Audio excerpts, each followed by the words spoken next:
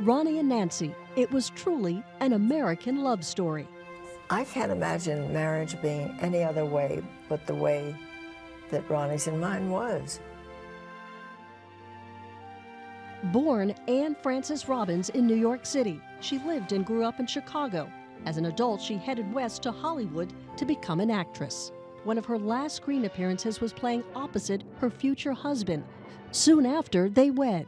Nancy was always gazing at him with that loving stare. I congratulate you, sir. I don't remember thinking anything except that, my gosh, here he is, and he's president. Nancy Reagan's signature was appearing in designer gowns. She battled breast cancer and survived. She also used her influence to launch an anti drug program, which was reduced to a simple phrase just say no. I didn't mean that that was the whole answer, obviously, but it did serve a purpose. After she and her husband left Washington, Ronald Reagan was diagnosed with Alzheimer's. It's sad to see somebody you love and um, have been married for so long and you can't share memories. Do you ever feel that fate treated you badly? No, uh-uh.